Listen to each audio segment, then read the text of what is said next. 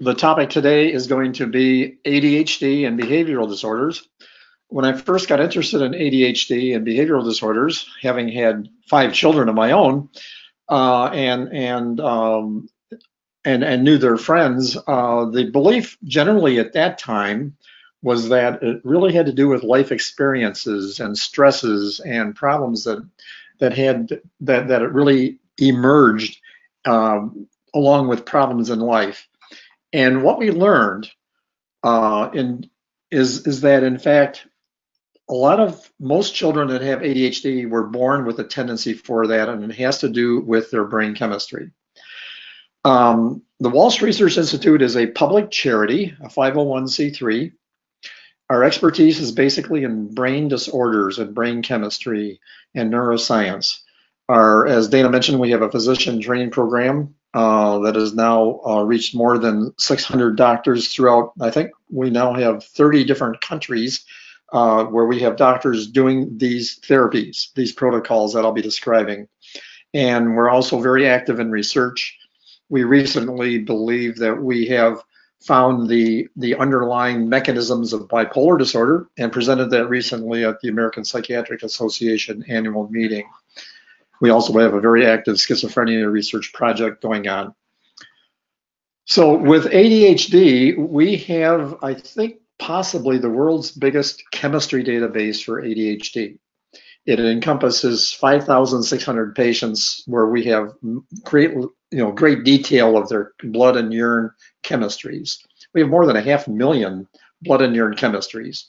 And uh, equally important really are the medical history factors because the symptoms and traits of a child or an adult uh, tell you quite a bit about their chemistry, their brain chemistry, and their chemical imbalances. So um, the first thing we found was in looking at our database is that people with ADHD are different from the rest of the population in, in many ways. And they're different in, in, in, in different ways for different people. For example, we now know that 68% of all children diagnosed with ADHD have abnormally high blood copper levels. And I'll, I'll be explaining why that's important, why that directly affects uh, a couple of important neurotransmitters in a, in a very massive way. They also have insufficient ceruloplasmin, that's 92% of them, and that's a protein that helps manage copper. And so if you have too little ceruloplasmin, that is a marker for oxidative stress.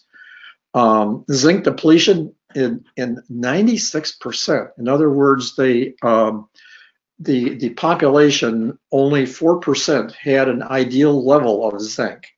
Uh, we use the word depletion instead of deficiency because that includes people who are low normal and would, would be better off if they had a higher level.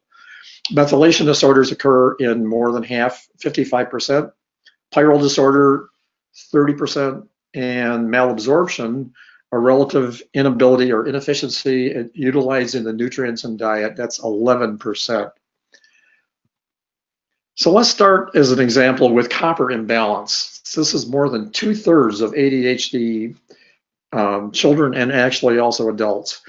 Um, copper levels are regulated in your body by metallothionein, which we call MT because it's easier to say. And that is a genetically expressed protein that has the job of, of keeping our copper level normal regardless of, of what's happening. Uh, I always tell people that if, if you could even be chewing on, on bars of copper and if your metallothionein system is working, your blood levels will still be quite normal. But that does, system doesn't work for everyone. Um, their metallothionein genetically expressed has these things called SNPs or weaknesses that some people have and others don't, and that can and that can um, impair the ability to keep copper levels where they belong. And so uh, these SNP mutations can can uh, result in copper overload and zinc deficiency. The two tend to go together. So for us, copper zinc ratio is important. One of the most important things for ADHD is that excess copper severely depletes dopamine levels. So um, Ritalin and Adderall, the very medications used effectively in many uh, ADHD patients, the, what it primarily does is it, it increases dopamine activity. Well, here we find that, that 68% of all ADHD patients have a chemical imbalance that's correctable that, uh, that, that can boost your dopamine activity. And we find that many patients uh, who have been on, on Ritalin or Adderall, once we correct the copper level, they no longer need the medication.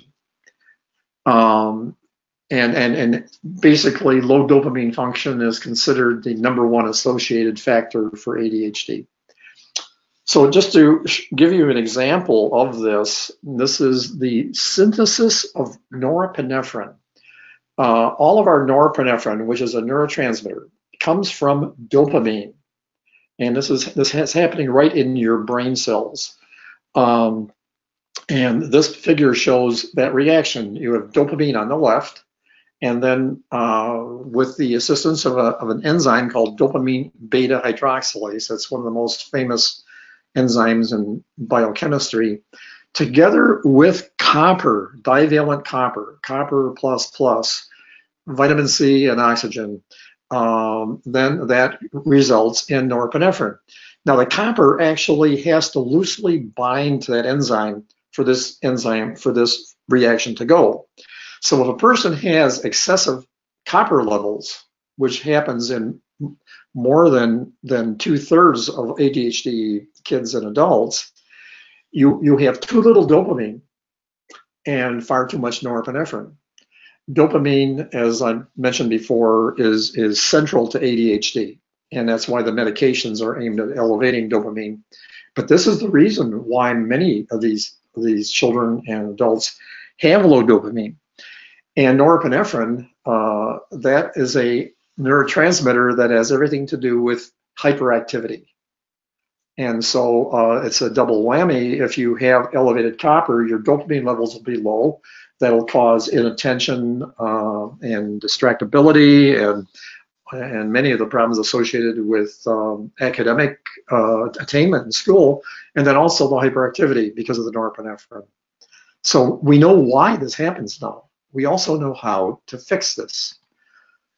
So uh, the process we use is a medical a medical uh, process. Uh, we call it individualized nutrient therapy.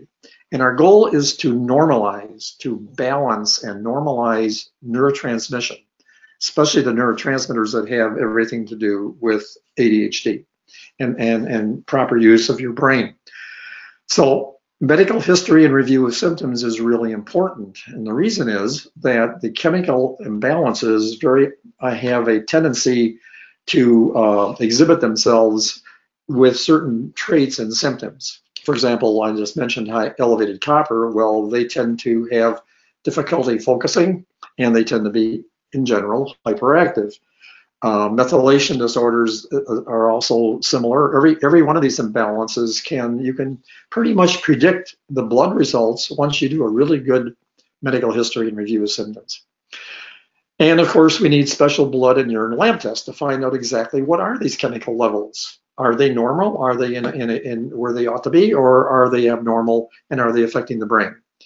And based on the history and based on, and then together with the lab work, then the next step is to diagnose chemical imbalances, and then we develop and design a prescribed nutrient program aimed at normalizing brain chemistry and neurotransmission. So that's basically what we do. Uh, the major types of ADHD, this, these are listed in the um, in, in, the diagnostic manual for psychiatry, and there are three major types: inattention, hyperactivity, and impulsivity. And then the third combination is people who have a combination of one and two.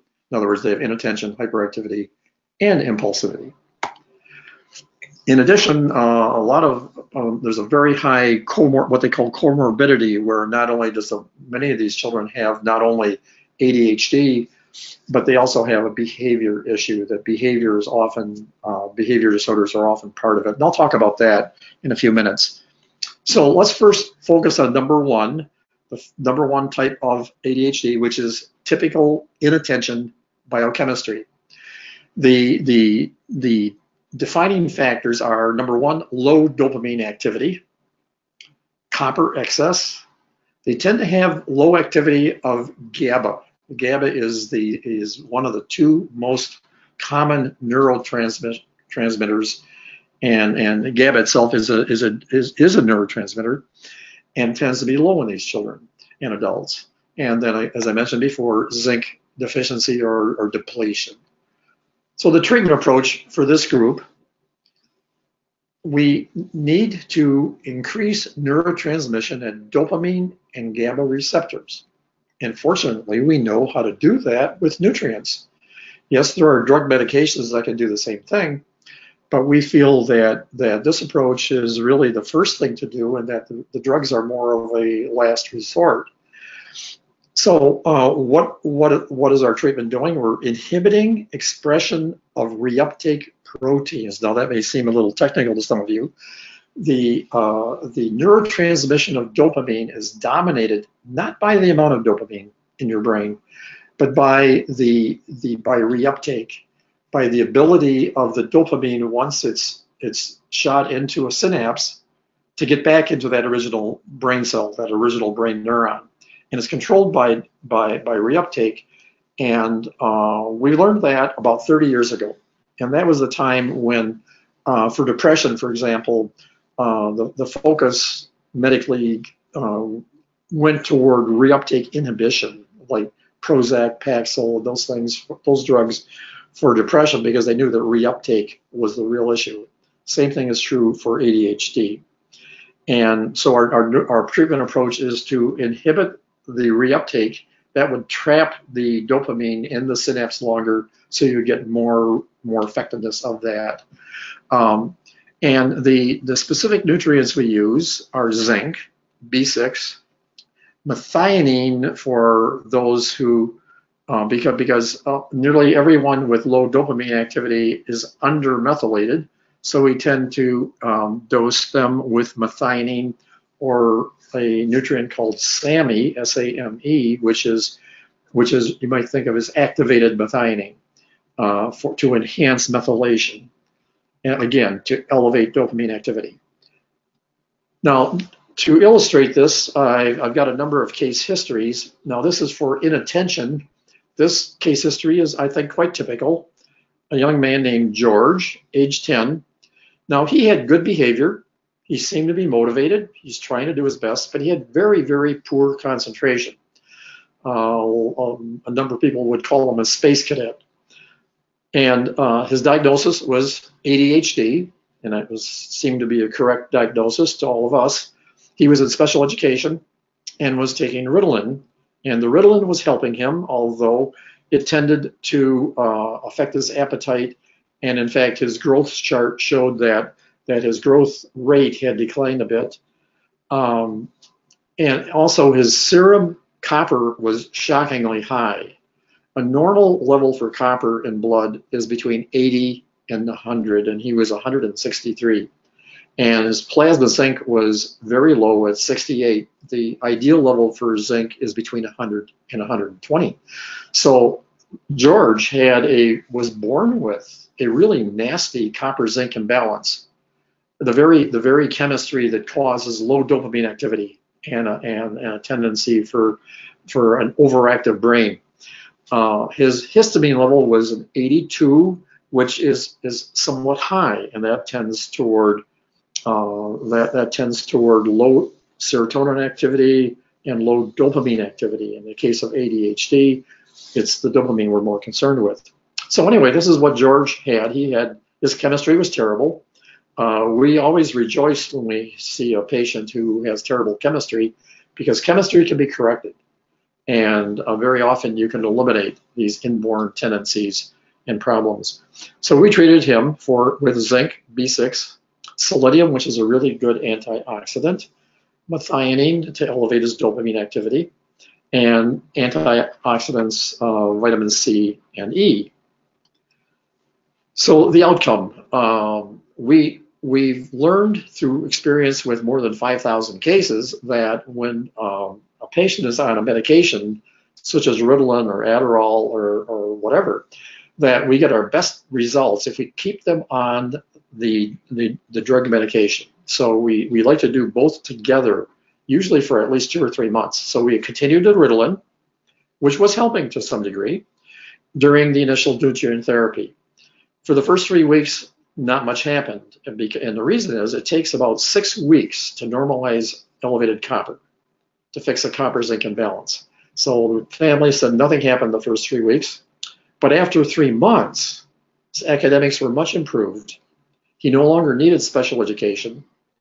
And uh, his, his psychiatrist uh, weaned him off of Ritalin, not, not to get rid of the Ritalin, but to find out the now that we had a new reality and he was better, the question is what would be the optimum dose of Ritalin? And so they very slowly lowered the Ritalin level, and uh, we were told that that he was at his best with zero Ritalin. Now I want to mention that about 20% of the time, in a case like this, we we we find that uh, the patient loses something if you go all the way to zero with with the medication, with the amphetamine. And, and we say, so be it, because we are not against Ritalin. We just want the child to be at their best. But even in that case, the, um, the dosage is so low that whatever side effects might be there are usually gone. So that's what happened in that case. Um, so let's talk about hyperactivity. Um, not all ADHD, even though ADHD, the H means hyperactivity, not all of them have hyperactivity. But those that do virtually always have excessive activity at norepinephrine and adrenaline receptors. These are these are neurotransmitters that have a lot to do with your energy, and it, ha it has a lot to do with hyperactivity of your brain neurons. Your brains are just if you hit, if you did a, a brain scan of someone who was hyperactive, it would light up like a Christmas tree because there's so much activity going on, and it's I guess you would call it too much of a good thing. And usually it has to do with either copper overload or an imbalance called overmethylation. Um, overmethylation occurs in about 8% of human beings, but it's uh, it's uh, uh, higher than that in people with ADHD, especially those that have hyperactivity. And we have a nutrient therapy that can help normalize methylation. Okay, so the treatment approach for hyperactivity is we want to reduce neurotransmission of these two neurotransmitters, norepinephrine and adrenaline. And we do that simply by normalizing serum copper and plasma zinc. And to, and to do that, we need zinc, B6. GABA actually is a neurotransmitter that tends to offset excessive, excessive norepinephrine. That's how GABA works, and it's a calming neurotransmitter, and it it, it slows down the, the, uh, the, the, hyperactivity of the brain neurons. And uh, if, the, if the patient also had over, overmethylation, we would give them folates and B12. So not all of them get the folates and B12, only those that are also overmethylated. So a case history for this case was a another 10-year-old, Peter, hyperactive, he had poor concentration, and he was failing in school. Uh, he had an ADHD diagnosis. He was taking Adderall, and which improved to some degree, although he did have some weight loss from the from the medication. His copper zinc ratio, just like the last patient, was very very high. It was 1.8. That ratio really should be between 0.8 and 1.0. The other chemistries were normal, which was good because we only had to worry about correcting this particular imbalance. So what happened to Peter? Uh, he also was taking Adderall. And again, we continue, in this case, I'm sorry, he was taking Adderall, which we continued. We continued the medication during the first three months. Um, his hyperactivity got slightly worse during the first week. We understand that because what we have to do is to get the copper, the excess copper out of these people's bodies. And if we do it a little bit too quickly, the copper level in the bloodstream for the first few days or maybe a week is even higher than before. So the hyperactivity sometimes gets a little worse the first week, followed by improvement, gradual, steady improvement. After three months, his concentration was improved. Academics were a lot better, and his Adderall was no longer necessary. So uh, behavior disorders occur about oh it depends on the type of, of the type of ADHD, but an episodic there's something called episodic rage disorder. These are children who are are kind of a, a sweet personality and they're generally well behaved and obedient, but when they lose their temper, it, it's like a uh, it can be like a, a volcano erupting, and it and they, it's called psychiatrists call it episodic rage disorder. And about 50% of people diagnosed with ADHD have this problem. It's not just a matter of learning and concentration in school. It also means their behave, they have these behavior upsets. Oppositional defiant disorder. These are children who have a really strong will. I like to say a will of iron, and they, they're born that way, by the way. And that has to do with undermethylation. And 35% of our patients have that. Conduct disorder, these are children who not only have behavior problems, but they like to destroy things and they, they tend to get in fights, and that's about 20%. Fortunately, it's only one in five, but still, for those 20%, it's a, it's a major problem. Antisocial personality disorder, now that is an extraordinarily severe inborn behavior disorder. Uh, this, these are the people that, as adults, uh, they're often called sociopaths. Fortunately, it's only 4% of those with ADHD. And I'm happy to say that we've had really good results uh, in helping children with that imbalance. But we learn we have to get them young. You have to get them before their before puberty to really help them. So the treatment for oppositional defiance focuses on serotonin and NMDA. Serotonin uh, levels seem to be really low in oppositional defiance kids, and uh, and also their NMDA receptor uh, tends to have low neurotransmission. And uh, the, the, primary treatment for them is either SAMe or methionine, which are methylators to enhance expression of the reuptake gene for serotonin. Again, it's not the amount of serotonin that determines serotonin neurotransmission. That's about a 5 or 10% effect. It's the reuptake, the genetic expression of this SERT reuptake gene. And uh, methionine or SAMe tend to really enhance that, and the folates do the opposite. So the the folates, which are good for undermethylation, they tend to make oppositional defiance worse. So it's, it's because of epigenetics, which is a new a new a new uh, field that we're learning more and more about. And we also want to promote glutamate activity at NMDA and it, it, can do that really nicely with antioxidants, zinc, selenium, GSH is glutathione, and there's recent research showing that NAC, N-acetylcysteine, is really effective for doing this. So we, I would, if I were to add something to the list, it would be NAC. So case history, uh, Mary, uh, age 10, she had a very strong will, oppositional to authority. There was no reward you could give this girl that would make her change what she did, or there was no punishment that would be enough to make her change. Uh, she she just um, re, refused to respond to you might say the carrot and stick approach, also known as behavioral therapy. Um, but she was defiant. She was really quite bright. Refused the study. Didn't like her teacher. She was in a special classroom. She was uh, engaged in counseling, which probably helped to some degree, and she was taking Vyvanse medication. When we tested her, she flunked the test for blood histamine. Her histamine was 153, whereas normal is between 40 and 70. So she had severe undermethylation. She was born with that. None of this was her family's fault, and really it wasn't Mary's fault. She was born with these very tendencies.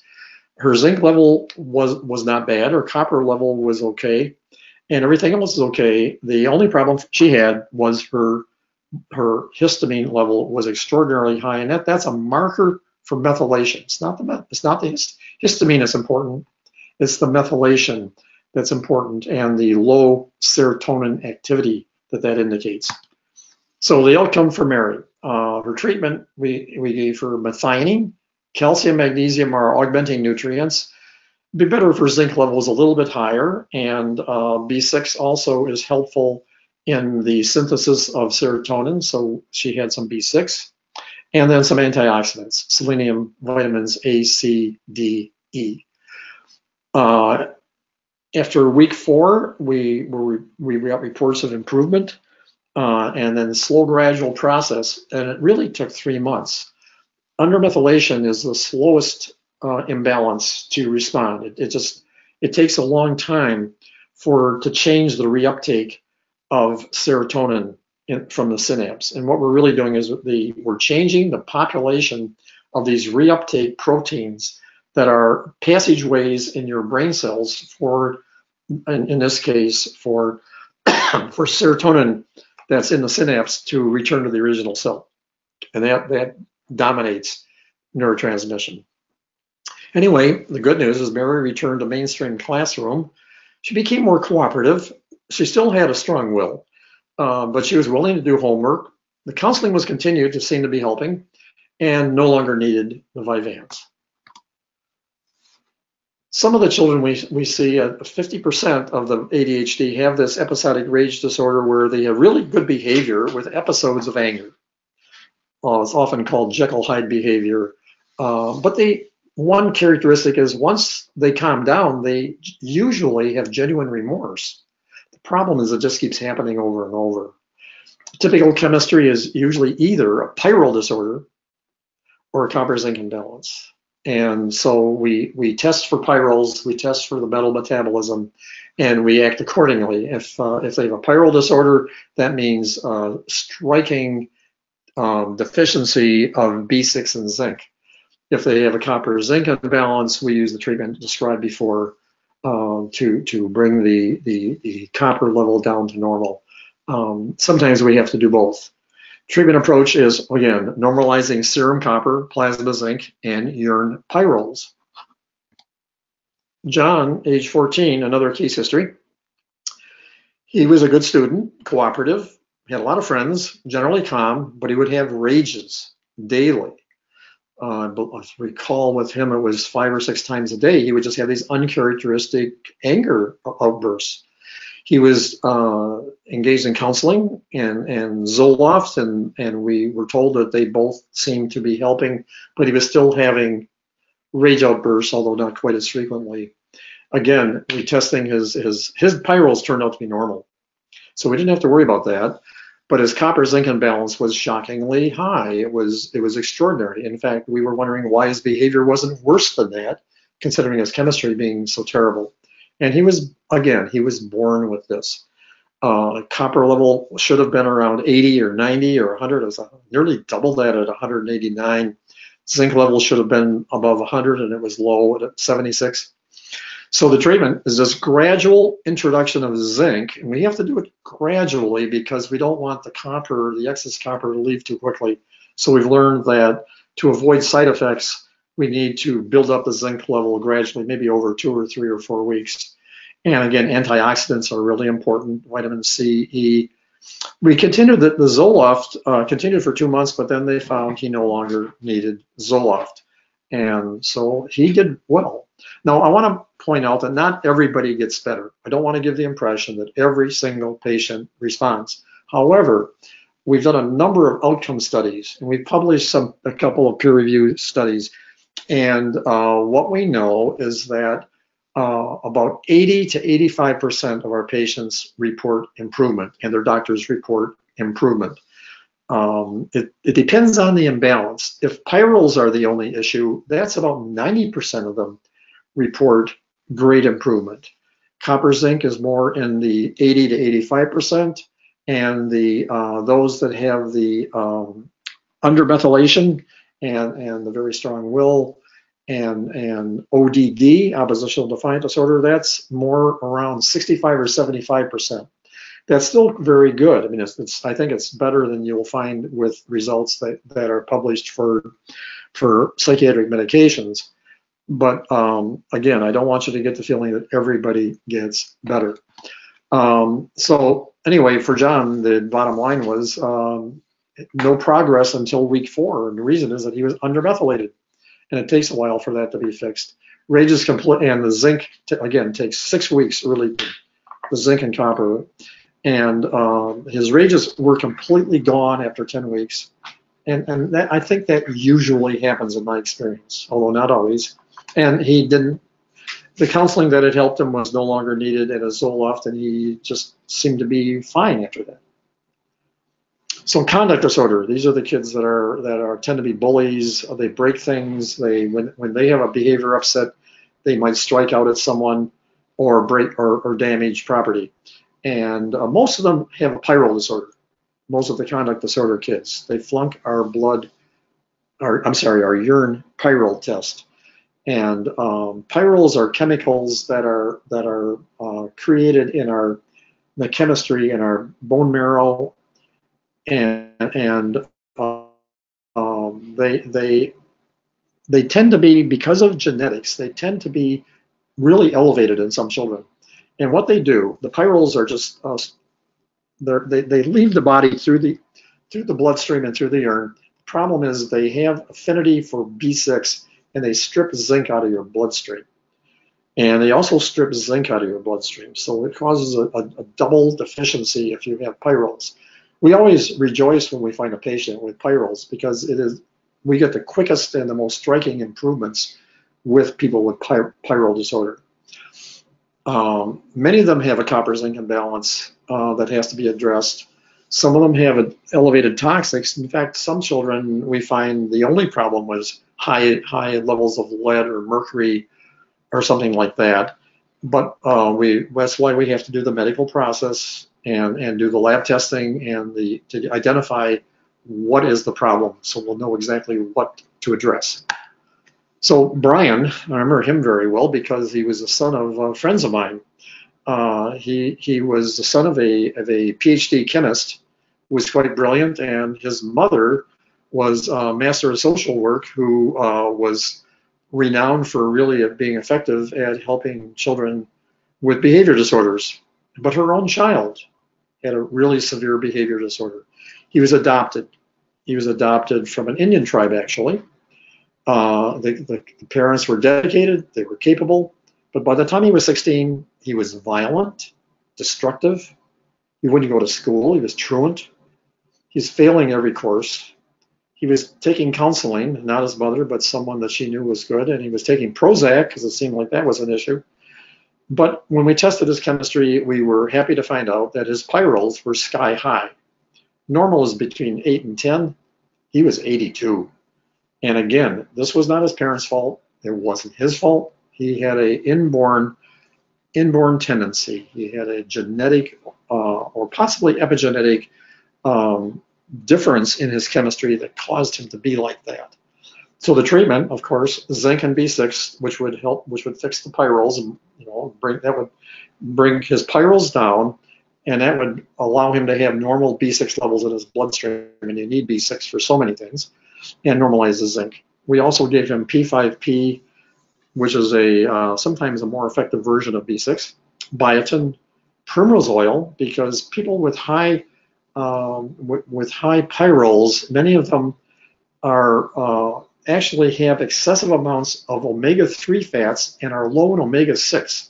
They're the exception to the general rule. And they, these are the ones who do well on primrose oil, which provides them with arachidonic acid and other forms of, of, of, uh, of the omega-6 oils, and vitamin C and E. As you can see, everything here has to do with individuality, finding out what a person's chemical, biochemical individuality is, and then finding a way to normalize it. So for Brian, uh, he got clearly better after seven days, and that happens with pyrrole disorder.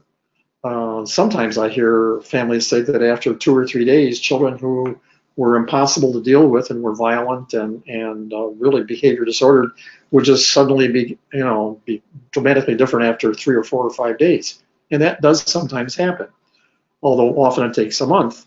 Um, after two months, he was now calm he ceased truancy. He started going to school, and everybody's surprise, he was smart. They, the family said they didn't know that. Became an honor student.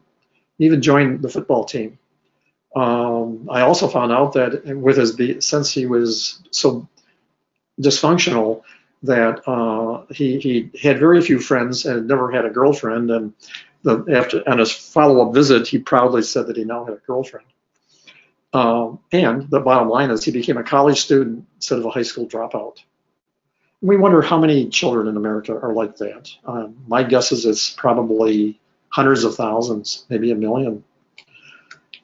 We've done outcome studies because you need to do research. Um, when just because you get reports of somebody getting better, that's what science and psychiatry calls an anecdotal case history.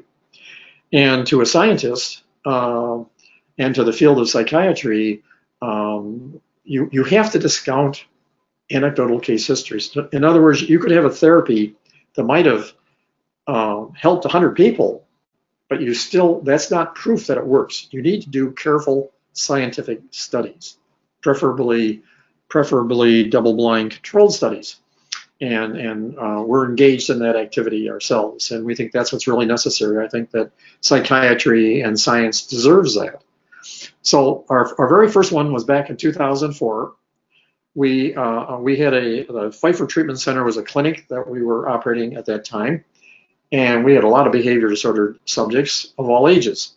We decided to, over a three-month period, to to test all 100% of them. So we took two, we had 207 behavior disorder patients.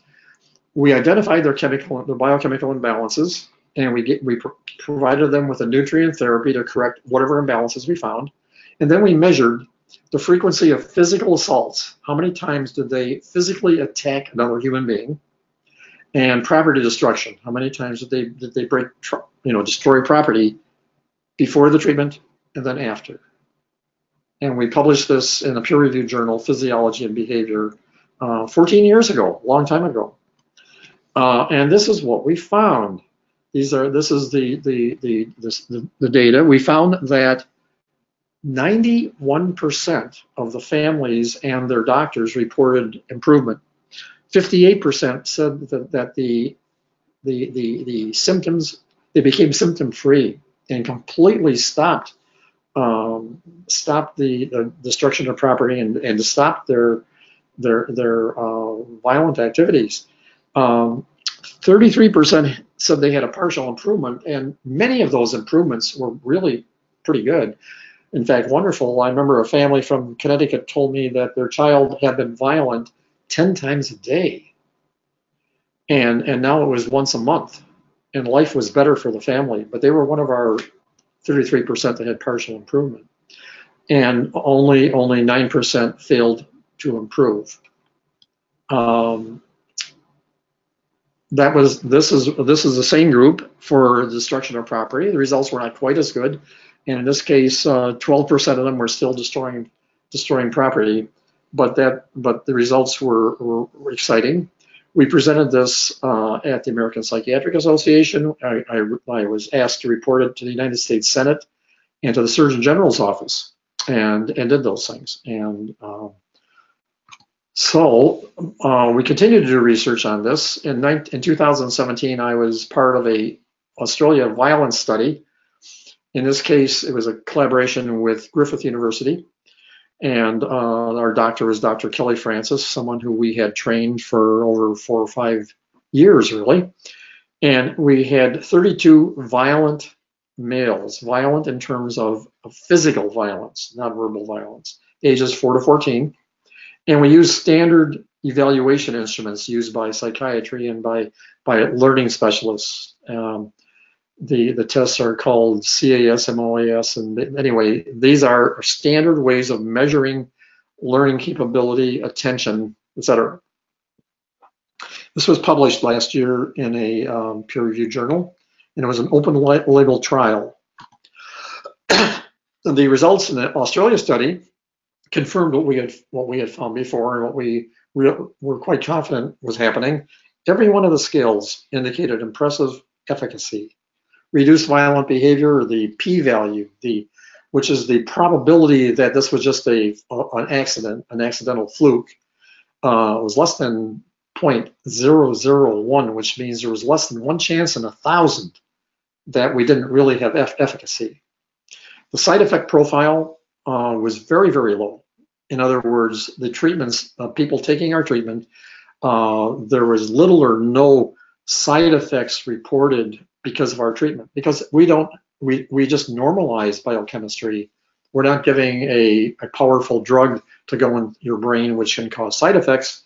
We are just simply attempting to do the best we can to normalize their chemistry. And it, as it replicated the earlier study. So overall, what do we recommend if uh, if if a person, if a family finds themselves with a child diagnosed with ADHD? We think you should check out their chemistry. We think you should find out whether this is something that uh, is not related necessarily to their to, to, to their environment or their life experiences. We think you should check their labs, check their blood and their urine to see if they have chemical imbalances that are part of the problem. So metal metabolism, pyrroles, methylation, toxic metals, and a few other tests. The lab testing that, that we do, we've got a, um, a protocol we use for lab testing, and it tends to cost between three and four hundred dollars to do this testing. And usually, you we have the answer whether or not the the the ADHD patient or individual has the, has this as part of the problem or not? And usually the answer is yes. And then we uh, recommend them, uh, refer them to a, a, medical doctor who knows these nutrient therapy protocols to normalize their biochemistry. And we regard drug medication as a last resort. Yes, uh, Ritalin, Adderall, and other amphetamine preparations, they are somewhat effective. And in fact, I think in most cases they are somewhat effective, but we think of it as more of a last resort. And if needed, fine, um, you should use it. But we think the um, individualized nutrient therapy is probably better, is definitely a better way to begin. That and counseling, I think, should precede use of drug medications. So uh, I'm going to turn this over to Dana, who is our moderator.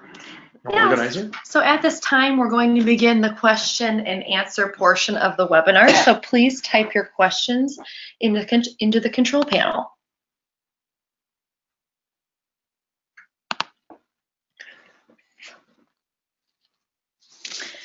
And while you're doing that, I'm going to take um, a moment to remind you that the nutrient therapies described by Dr. Walsh during this webinar do require the supervision of a medical physician. Um, you can find a doctor in your area that has um, been uh, that utilizes Dr. Walsh's protocols by visiting our website, which is Walsh Institute org to find a doctor in your area. We do recommend that you seek the help of an experienced physician who has attended a Walsh Research Institute physician education workshop because as you've learned today, nutrient overloads and deficiencies have a powerful impact on brain functioning. And uh, one of, I'm seeing here that there are many questions about will the recording and the slides be available? Yes, you will have access to the recording, and I'd be happy to send um, all of you attendees a copy of these slides.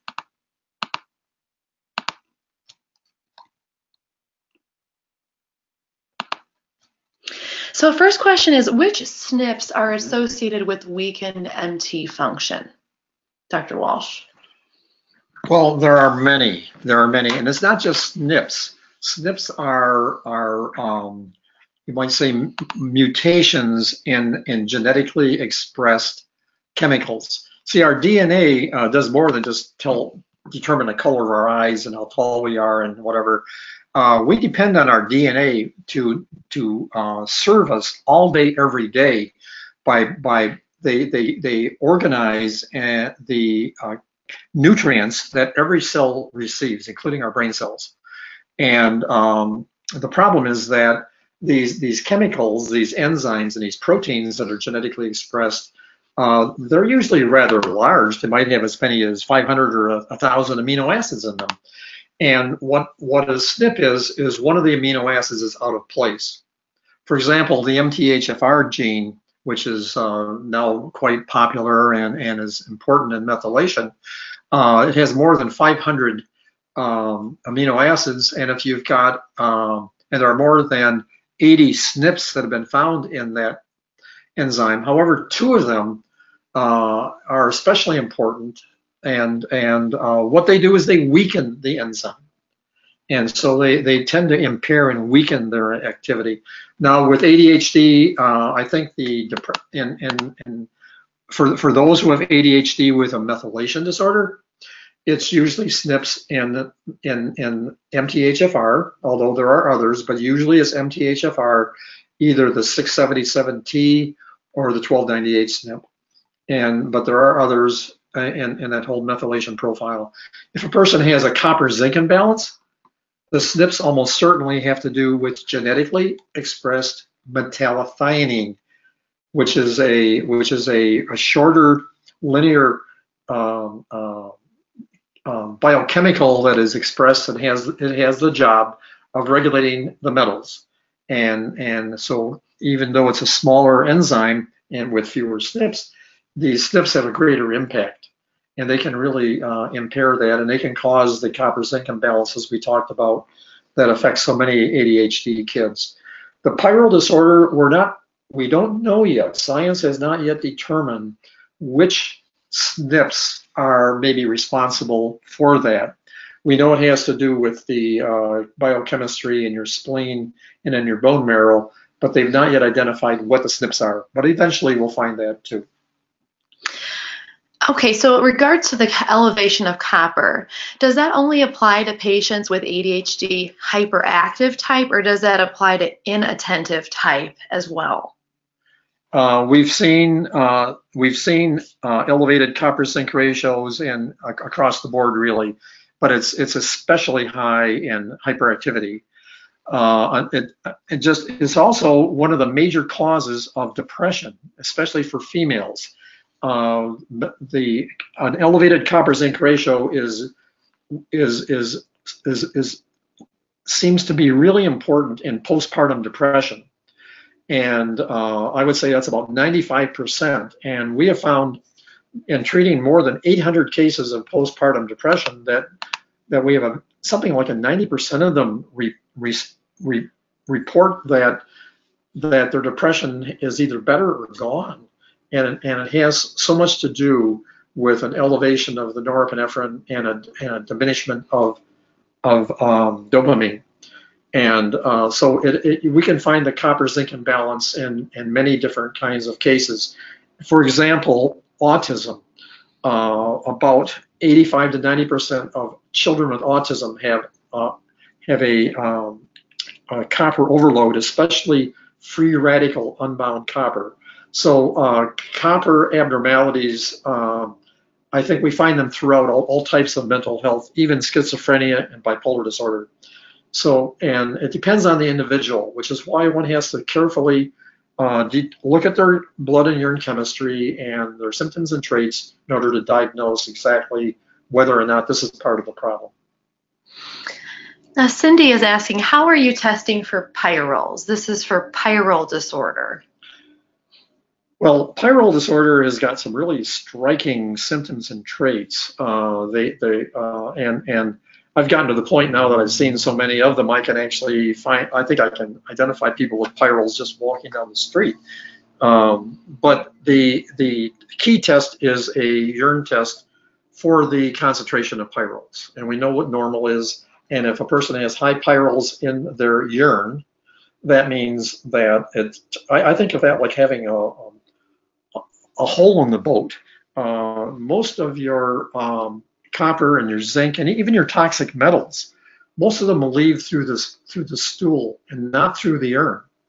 Uh, and what happens is that your your zinc is supposed to be regenerated over and over. And what happens if you have pyrrole disorder, you just you're just losing um, lots and lots of your zinc uh, through the urine that you're not supposed to be losing. And zinc is actually the chem, that's the that's the natural nutrient that causes this metallothionein protein to function, and and it's it, it affects a part of your DNA called a metal regulation element, and so that's the it's an it's it's an epigenetic effect, and um, so that I think the the the symptoms are so clear with with pyrrole disorder. For example, these are almost always night people they're not hungry for breakfast. These are the people. They one symptom is they tend to skip breakfast and don't care if they eat uh, in the morning. Uh, they they tend to have pale skin. They're more prone to sunburn than others. They they because of the pyrrole disorder and the severe zinc deficiency, they their taste is different, and they they tend to love spicy foods. Um, they they they're they're just they also are prone to mood swings that are quite quite dramatic, and they're usually famous for their for their temper, regardless of how wonderful they might be, and, and when they're when they're okay. So, um, but but I, I think that's basically a, a urine test. There are only about three or four labs in the world that do that test right. And if you check our website, uh, I think you'll find uh, the the uh, labs that do that properly. Yes, information information regarding laboratory testing and practitioners is available on our website walshinstitute.org, and it really depends on the practitioner whether they accept insurance or not. It depends on what type of practice, whether it's run independently or they're with a, a larger group organization.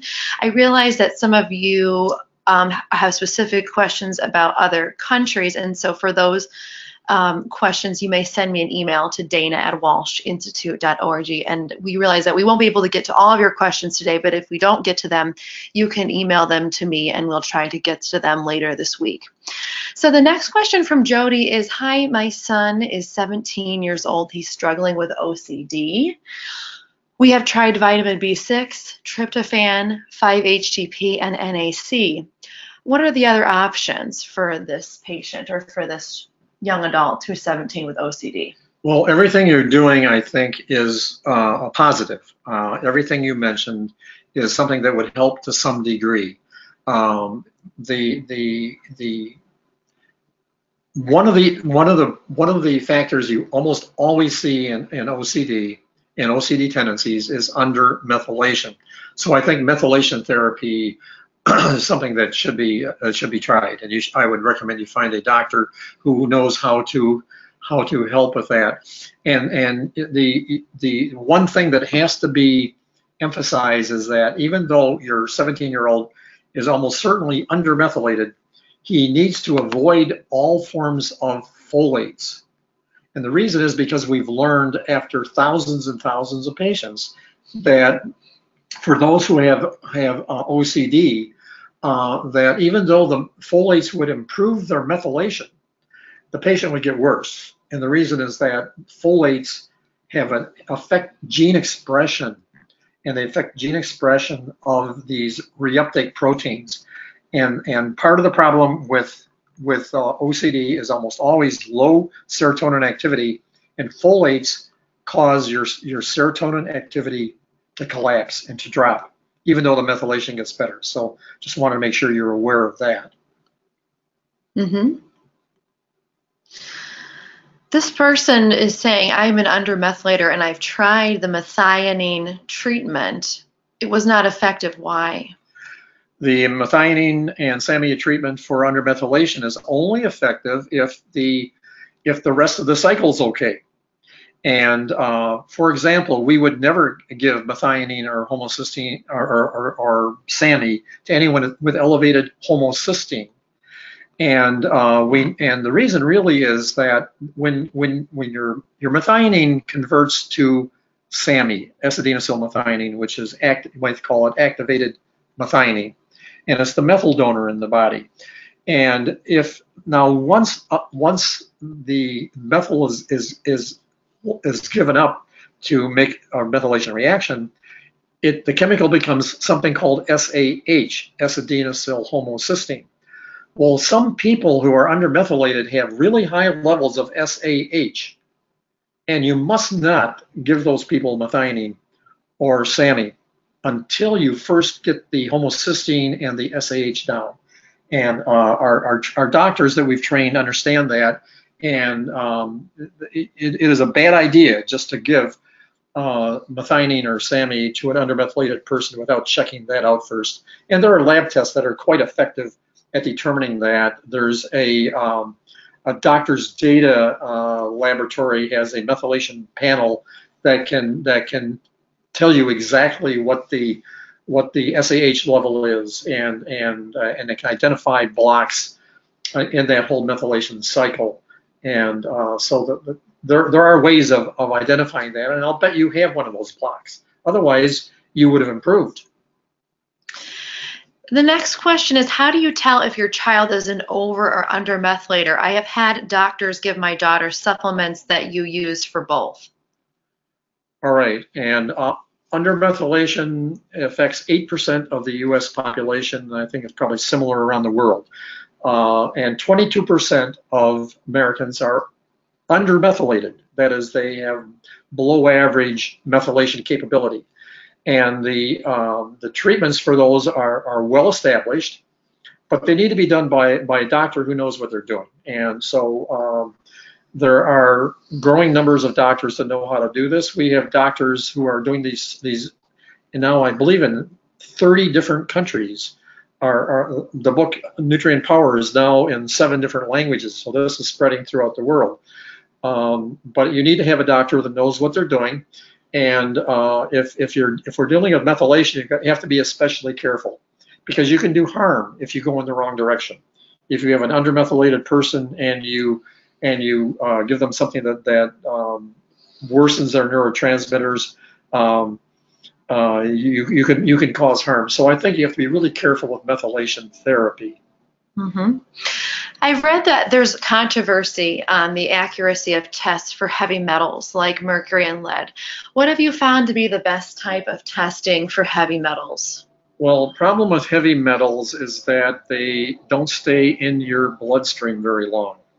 The the half-life, for example, if a person accidentally got a shot of mercury in their diet accidentally, or uh, a thermometer was broken by the way, we apologize for the noise in the background. Somebody's mowing their lawn. um, if if uh, if you got a shot of mercury, uh, that would not show up in your bloodstream after three or four days, and uh, it would show up in in in your hair, and it, it would uh, because some of some of the toxic would would wind up in your hair. And I, I kind of like to use a hair analysis from a from a, a competent lab and there are a couple of really good ones. Um, and, and, and I, I, know there are good ones both in uh, USA and in Australia and other places. And uh, the uh, EPA has um, published uh, the recommendation that for identifying toxic metals, that, that hair analysis is better than blood or urine. Although once in a while, the the the uh, the toxic levels are so high you can actually see them in blood and urine, even uh, a few days or weeks after the imbalance. The exception is lead. Lead um, in the body, the half-life of lead in the body is 22 years. And that's because lead acts as though it's calcium and gets absorbed into your bones. So if a person who has a lot of lead exposure, it's it's going to be with them to some degree the rest of their lives.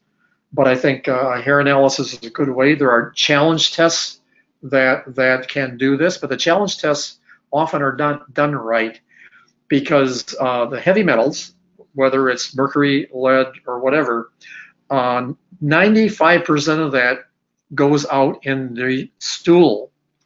And if you and if you do something like a, a challenge with DMSA or DMPS or EDTA, those of you familiar with challenge tests, if you do a 24-hour urine sample before and then do a 24 urine sample after doing this chelation, of course the level in the blood is going to be higher because you're sending it out a different door. Instead of only four or five percent of the toxics going out in your urine, you're forcing nearly all of it out. So uh, these the, these challenge tests, uh, urine challenge tests, can be done if a, somebody really knows what they're doing. In my experience, uh, more than three fourths of doctors that do this are not familiar with metal metabolism, and uh, they'll repeatedly do these challenge tests and say, hey, we're getting more mercury out or we're getting more lead out. No, they aren't. What they're doing is they're just causing, um, sending the whatever toxics leave the body uh, out through a different door, all through the urine instead of instead of the stool. So treatments for copper zinc imbalance, right? A lot of kids with these issues have copper zinc imbalance. When they get on a successful treatment program, what does that treatment program entail? Are they on the supplements that correct their biochemistry into adulthood? Uh, the answer to that is yes and no. Um, if if the anyone has a copper zinc imbalance and it gets corrected with nutrients, which might require for for that imbalance alone maybe two or three or four capsules of of a variety of, of nutrients, um, it, will come back. And In the case of copper zinc, uh, the imbalance will probably they'll they'll, be, they'll feel fine for about a about a month, and then after two or three months they'll be right back where they were, and all the symptoms will be back the the I said yes and no. The reason why some people don't need this is that when you're young, when you're growing, when your cells are rapidly div dividing, every time a cell divides, you use and you lose zinc. So once you stop growing, once you once you stop growing, the zinc deficiency part of that is is just naturally weakened, and and and things tend to get better. And um, the, a number of I, th I think we, it's a good idea to retest somebody, say at the age of 20, that may have had a copper zinc imbalance before, and it may, may no longer be severe and may no longer need to be treated. And a, a lot of children we've seen, and a lot of adults we've talked to, with, I've talked to a lot of adults with copper zinc imbalances, and many of them were late bloomers. In other words, had great difficulty in school or had difficulty with behavior. But in their 20s, they changed dramatically and, and became late bloomers. And um, a few of them said they loved to go to high school reunions because nobody could believe how well they turned out. And I think the the, um, the the drain on zinc from growth is no longer there, and so it corrects part of the copper zinc imbalance. So that's I apologize for the long answer, but that uh, usually if you stop taking the treatment, it will come back. So we can treat this, but we can't cure it. Mm-hmm. Now, in regards to omega 6 and omega 3 levels, do parents need to have their children checked for those levels? Well, for ADHD and behavior, we find that uh, not that that it's only about, I'd say, between four and eight percent of people really need to have their have have the fatty acid levels tested because what we're looking for are genetic abnormalities. Um, every every patient that we would have and every doctor that would do this right would have a would make sure that the person had a good diet. So if you have a proper diet, the then the issue then the question is do you have a genetic abnormality like the pyrrole severe pyrrole people have the odd situation of having more than enough omega 3 and not enough omega 6, whereas nearly all, I would say 95% of American children probably have too much omega 6 and benefit from omega 3 fatty acids. Um, so we don't usually test fatty acids on our first screen. The reason is about 90% of our patients get better without having to get involved with fatty acids. Um, and also, fatty acids are, more difficult for a child or even an adult to take. There's a lot more to swallow down, and um, and, and so there's a problem with with compliance. Uh, we try to avoid the fatty acids unless we need them because it tends to knock compliance down greatly, especially for children. Mm-hmm.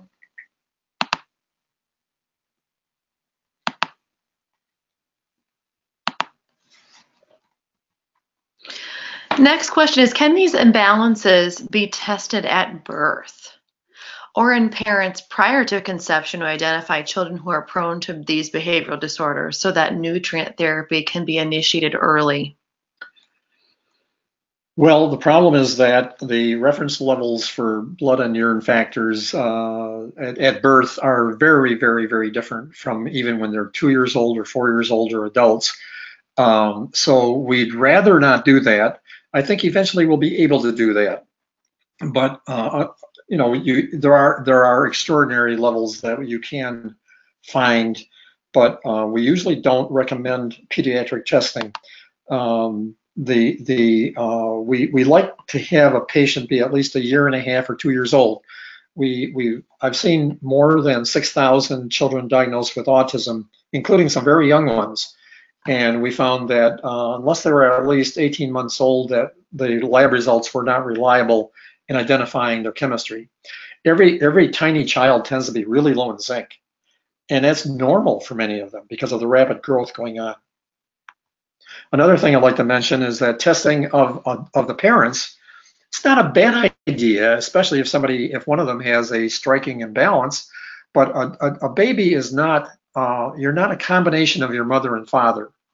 You you really have genetic material from from uh, many of, of all, all you know a combination of your ancestors, and you might be taking after uh, uh, an aunt or uncle from three generations back. So it's it's not a bad idea to try to identify something that might be running in the family. For example, we know that copper zinc imbalances and pyrrole disorder and methylation, all of those tend to run in families. But again, you get exceptions because of the the the variety of ancestors that you that we all have. Mm-hmm.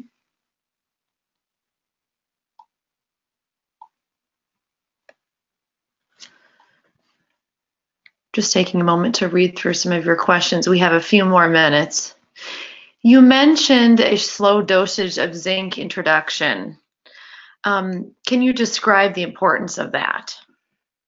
Yes, if you do not, if you, uh, if, if a person has really an excess amount of copper in their body, uh, when we treat it, it leaves it leaves the body through the through the bloodstream, and the the symptoms are generally irritability and anger. That that's the uh, that that that is the most common symptoms you get. So if you if you do it too quickly, if if you are causing the excess copper to leave too quickly, the blood level of copper will will will will go too high as it's leaving the body and and you can get those symptoms. That's that's typically the issue. For people with postpartum depression, we have to be especially careful because for them, uh, if we don't do this really carefully and gradually, their their depression could possibly get worse, and that could be a lot more serious. Are pregnant women at risk for copper zinc imbalances? Uh, that's really interesting. Uh, a lot of women uh, who developed postpartum depression had no tendency for depression or anxiety at all before they had a child. The reason is that during the nine months of pregnancy, a woman's chemistry, a woman's blood level of, of copper more than doubles. Typically, it should be around 80 or 100 micrograms per deciliter, and it tends to go over 220. And that's healthy because the baby needs that. The fetus needs that because of the rapid growth. And uh, so what's supposed to happen as soon as right after delivery, the copper level in a, in a, in a, in a mother is supposed to go right back down to normal. But some people don't have that capability.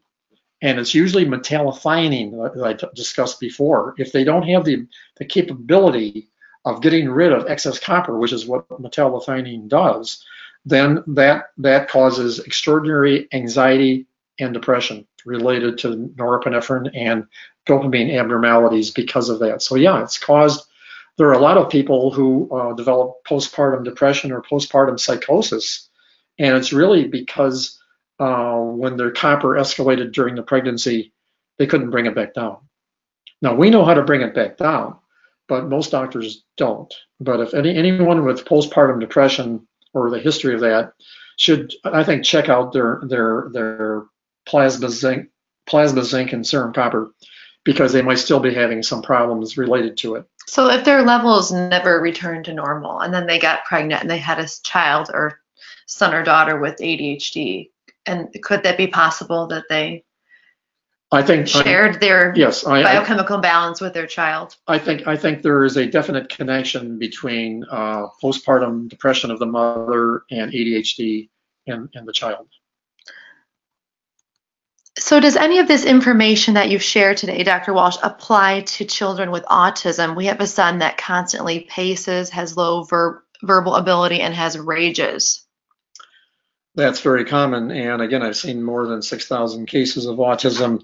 In fact, uh, it was our database. We were the ones that, I, that first, back in 1998, we were the ones that first identified and, and discovered that autistics tended to be undermethylated. And at that time, when I reported that to the rest of the world, it seemed like nobody even thought about that as a possibility. But yes, about 95 to 98% of all all persons diagnosed with, with Kanner autism, with classic autism, not necessarily uh, the, what they call autism spectrum, but with they have undermethylation, and that tends to cause ritual behavior and a tendency uh, for for stimming, but also a tendency for being creatures of habit. Um, yes, I think I think that, and there in America there are hundreds of doctors who are really quite capable of addressing the methylation problem in autism. And I just urge anyone with an autistic child to act immediately because I've learned with the thousands that we've worked with, you can get more progress with a with a two-year-old in a month than you can in a year with a six-year-old. So early intervention is everything.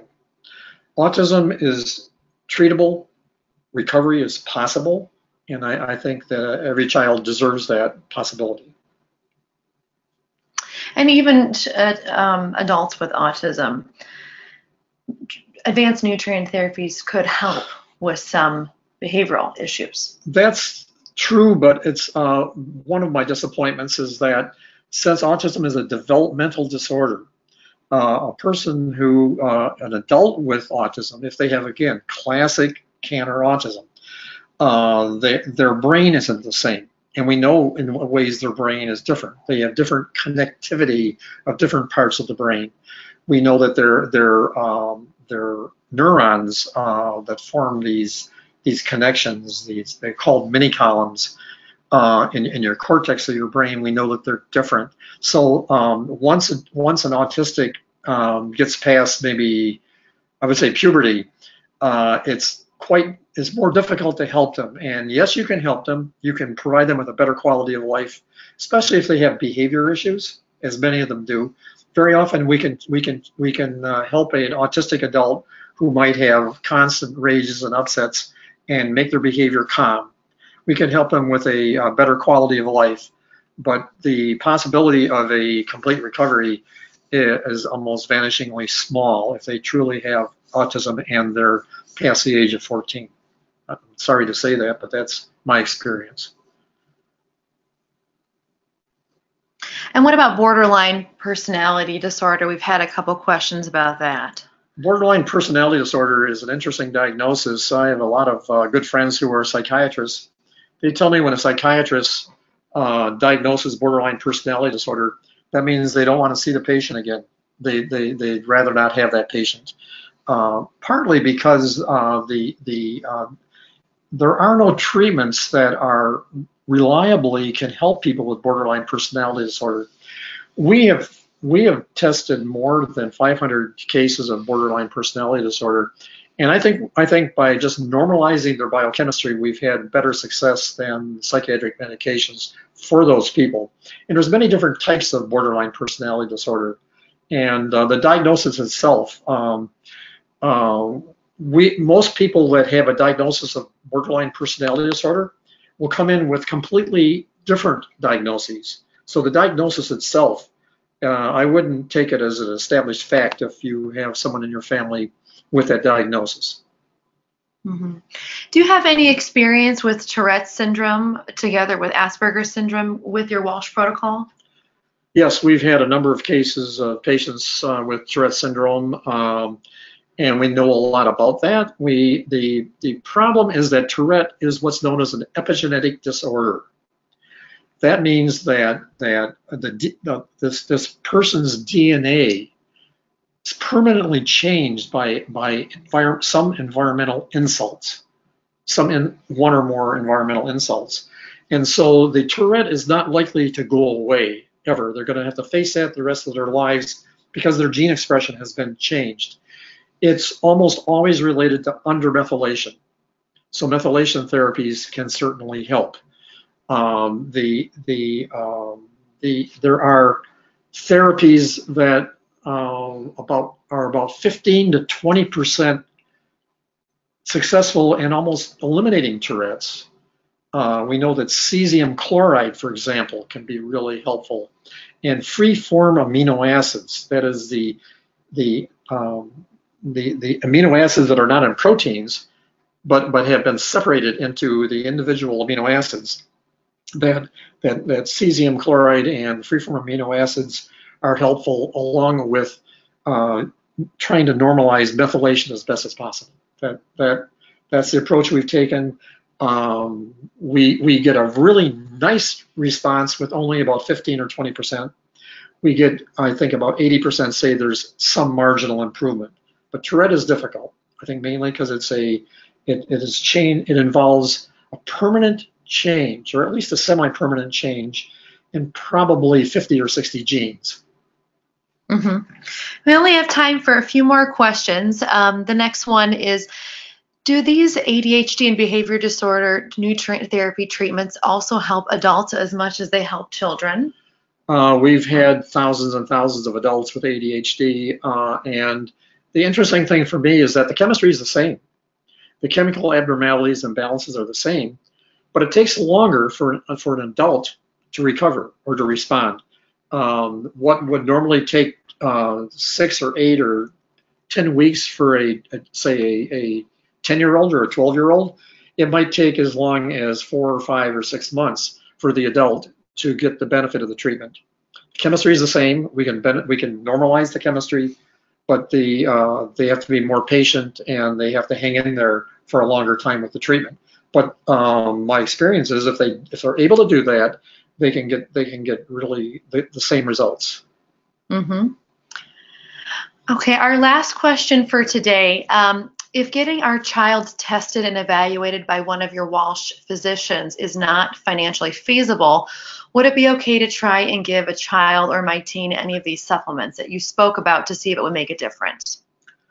Well, um, I, I, don't recommend it. However, uh, we have a lot of people contacting us from from Africa and from third world nations where they don't have the ability to do testing, much less the um, much less the money to do the testing.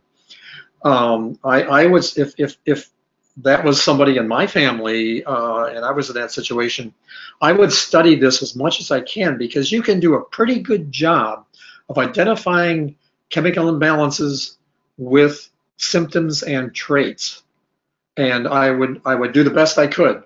But really, if you can afford to have um, a, a, knowledgeable doctor, that is absolutely the best way. And there's only only if a person is living in uh, outer Mongolia or something where where that's not possible, you still would have. I think you should still do the best you can, but you really need to do the lab testing well, and the takeaway is that what you've learned today is that all children are biochemically unique. So, what one child may need is very different from the other.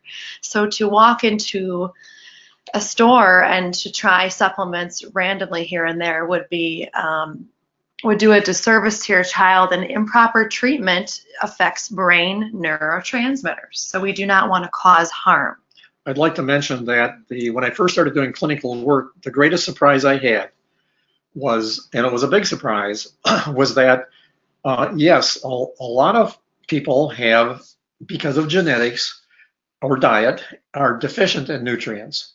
But what I learned, to my surprise, was that the greatest mischief is caused by nutrients that are in overload.